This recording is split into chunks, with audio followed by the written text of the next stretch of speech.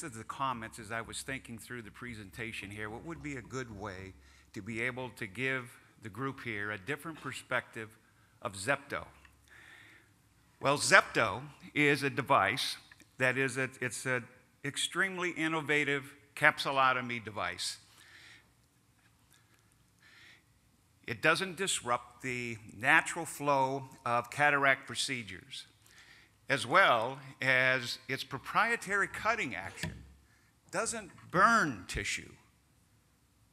And as we're going to show you as to the effect of not burning tissue, being, being able to cleave the tissue, we give an unusual performance to the edge of the capsulotomy. It requires minimal training by the physician and it is very low cost. Some of the unique features of Zepto is that the way that we basically are sucking down onto the capsule, we do not allow for any movement during the four millisecond cutting period, which allows a very uniform capsulotomy. Secondly, we have very good zonular safety, especially if you have patients that have pseudoexfoliation. We can insert it in under a very small pupil.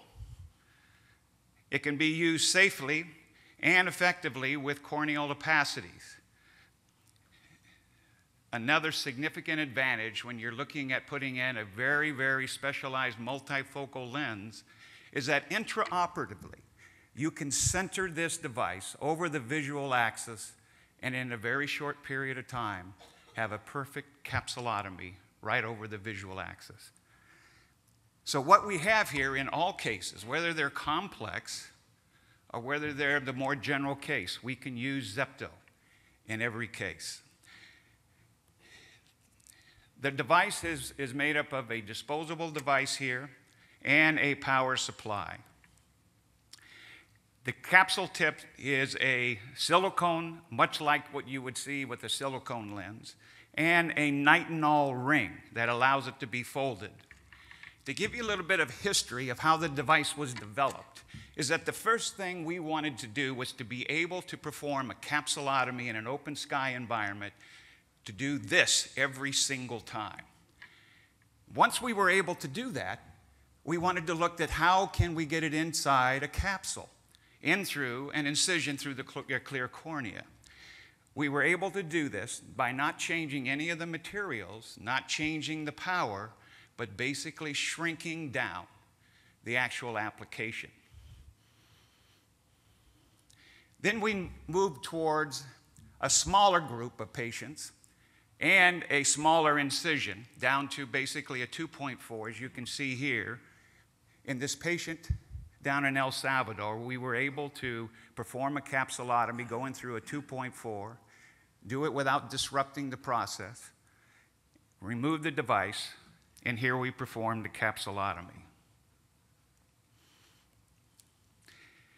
Then, lastly, as we have today, we developed a device to be able to go through a very small 2.2 millimeter incision, to do it easily, again, to perform a capsulotomy every time, and that the device is removed very easily from the eye.